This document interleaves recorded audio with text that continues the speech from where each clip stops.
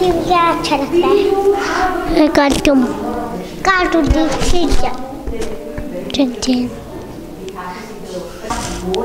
हाँ तुम क्या देखते हो Uh, school is best school I have concerned about, and uh, obviously every parent want their child to give best education. That's why we are here. Sir बहुत अच्छा school है sir comparatively बाकी और स्कूलों से ज़्यादा काफ़ी अच्छा है टीचर्स काफ़ी अच्छे हैं और स्टडी का बेस जो इनका ना बहुत स्ट्रॉन्ग है। बोलते बच्चों को जो है ज़्यादा वर्किंग का लोड नहीं है इसमें ना। जैसे बच्चे और स्कूल होते हैं, जैसे मतलब रिटर्न पे ज़्यादा ध्यान देते हैं। यहाँ पे ऐसा है कि एक्टिविटी के थ्रू पढ़ाते हैं। मतलब बुक्स का कम होता है उसमें। तो फिर तब जाके मैंने मतलब बच्चों को पहले से स्टार्टिंग से ऐसा लोड क्यों डाल देना पढ़ाई का? उससे ऐसा है कि एक्टिविटी से बच्चा ज़्यादा फ्री माइंडेड रहता है और जल्दी सीखता है बच्चा। तब जाके मैंने यही सजेस्ट किया कि मैंने बोला इसी स्कूल में डाल दें बच्चा। फ़र्स्ट क्लास में मेरा बच्चा खुद का मतलब मेरे मामी है रियल उन्होंने बताया था उनका बच्चा पहले यहाँ पढ़ता था। स्कूल बहुत अच्छा है। हमारे बच्चों को जो बेसिक होता है ना जो साउंड से लेके हर चीज़ इन्होंने इतने अच्छे से करवाया कि आज बच्चा खुद जो है रीडिंग करता है। सारी बुक्स कुछ भी पूछ लो बीच में से बच्चा सब कुछ अच्छे से बताता है और केयर भी यहाँ पे बहुत अच्छी करते हैं। क्योंकि लेटर ऑन हमें प्रॉब्लम्स आते हैं ना। हमारा बच्चा लेट उठता है, वो हमेशा मोबाइल पे होता है, इतनी देर टीवी देखता है रीडिंग हैबिट्स नहीं हैं। तो वो कब होगा? कैसे शुरुआत करेंगे? तो आज ही उसके लिए सबसे बेहतर वक्त है कि हम उस चीज़ को अभी से इसी इनिशियल स्टेज से उन चीज़ों पे वर्कआउट करेंगे। एक बच्चे के विकास के लिए शिक्षा बहुत ही महत्वपूर्ण है, लेकिन उतनी ही ज़रूरी है बच्चों की खुशी। एक बच्चा सबसे ज़्यादा खुश तब होता है जब वह खेलता है।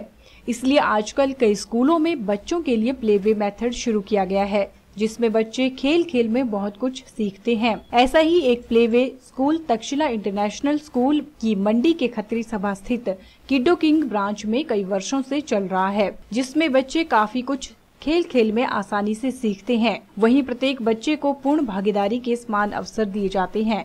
बच्चों के ज्ञान के साथ साथ प्रतिभा में भी निखार आता है। किडो किंग ब्रांच में हर साल नया सेशन शुरू होने से पहले पेरेंटिंग सेशन का भी आयोजन किया जाता है, जिसमें तक्षशिला इंटरनेशनल स्कूल की प्रधानाचार्य शैलजा कश्यप अभिभावकों और बच्चों को स्कूल आने से पहले मानसिक रूप से कैसे तैयार करना है, इसके बारे में जानकारी प्रदान करती हैं। इस साल भी किडो किंग ब्रांच में पेरेंटिंग सेशन का आयोजन किया गया।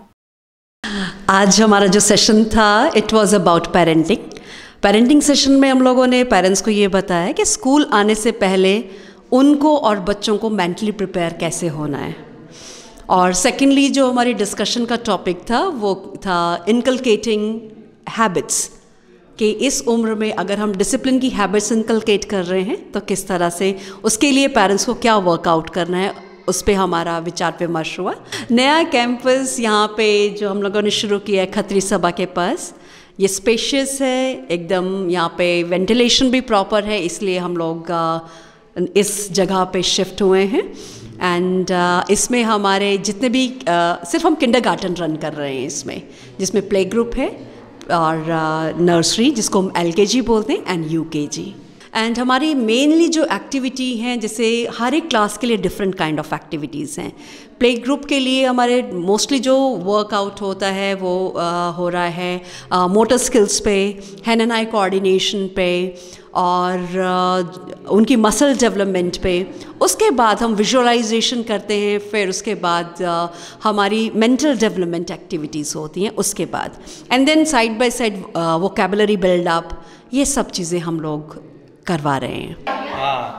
और ब्लू का है ब्लू ब्लू कलर और येलो येलो येलो बताओ।